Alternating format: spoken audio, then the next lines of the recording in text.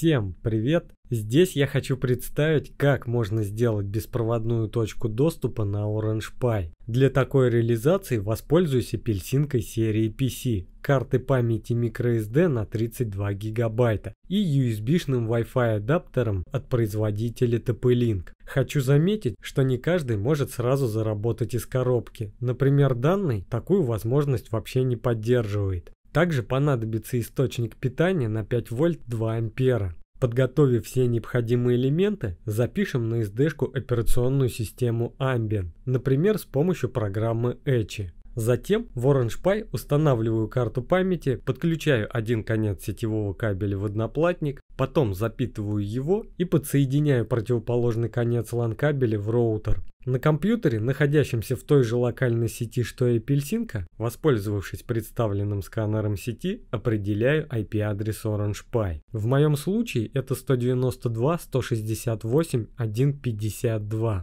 Теперь с помощью программы Пути по протоколу SSH, подключившись впервые к плате, авторизуюсь, введя логин root, а пароль от 1 до 4. Далее нужно пройти стандартные этапы конфигурации. Здесь хочу обратить внимание на то, что по умолчанию следует выбрать командную оболочку Bash. В целом, я уже подробно показывал действия по подготовительной настройке. Более детально их можно посмотреть, перейдя по подсказке. Далее рекомендую выполнить парочку команд. Сначала apt-get update, который обновляет информацию по репозиториям о новейших версиях пакетов.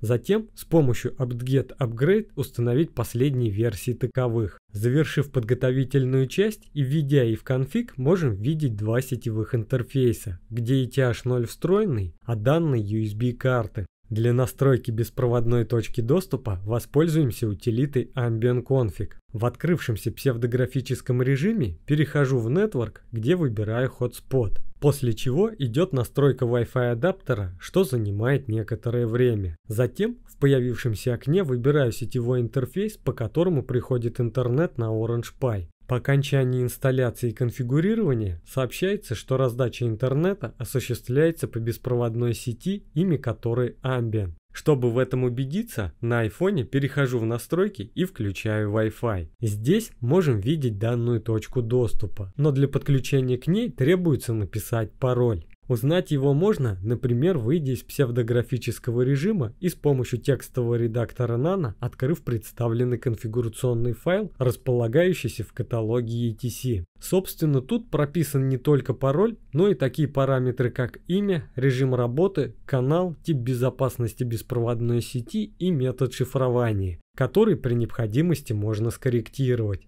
Теперь, зная паспорт на смартфоне, попробуем подключиться. Успешно установив соединение и запустив браузер, я немного посерфил. Хочу сказать, что страницы открываются достаточно неплохо.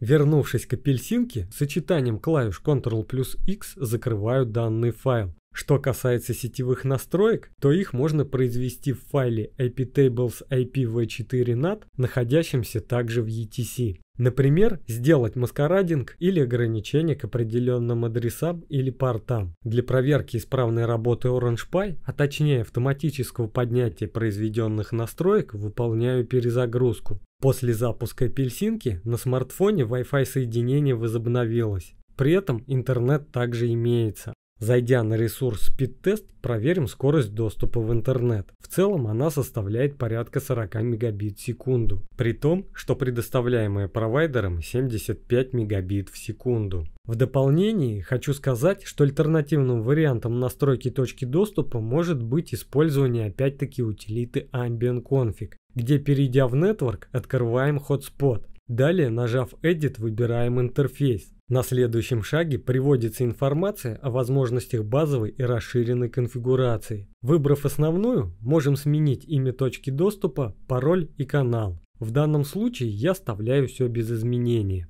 Также я решил потестить работу доступа в интернет на ноутбуке. Для этого на рабочем столе кликаю по сетевому значку и из указанных доступных сетей подключаюсь к своей, введя пароль. Затем, запустив браузер, откроем ютубчик. В целом воспроизведение видео осуществляется достаточно хорошо. В заключении хочу добавить, что для реализации беспроводной точки доступа можно использовать одноплатник, идущий уже с Wi-Fi, например Orange Pi Zero. Также узнать возможность реализации точки доступа беспроводным адаптером можно, подключив его к апельсинке и выполнив представленную команду, которая должна вывести в разделе «Поддерживаемые режимы интерфейса» аббревиатуру AP, то есть Access Point.